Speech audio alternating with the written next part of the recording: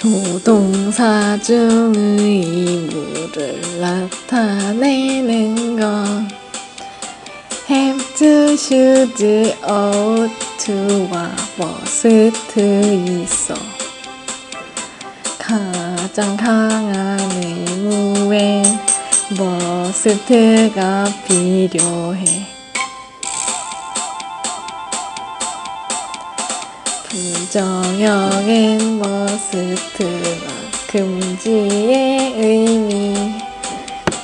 이 금기를 어길 경우 법적 조치도 비와 함께 쓰면은 강한 추측 나타내 앞문장의 단서들로 강한 추측해. 증 거가 확실할 땐 버스비의 용법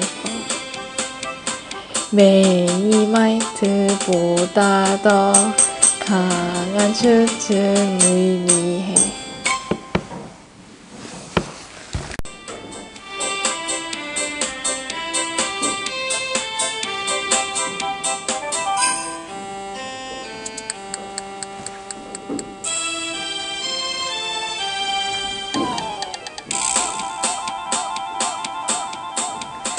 조동사 중의 의무를 나타내는 것.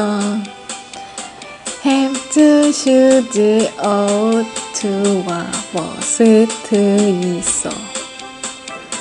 가장 강한 의무엔 must가 필요해.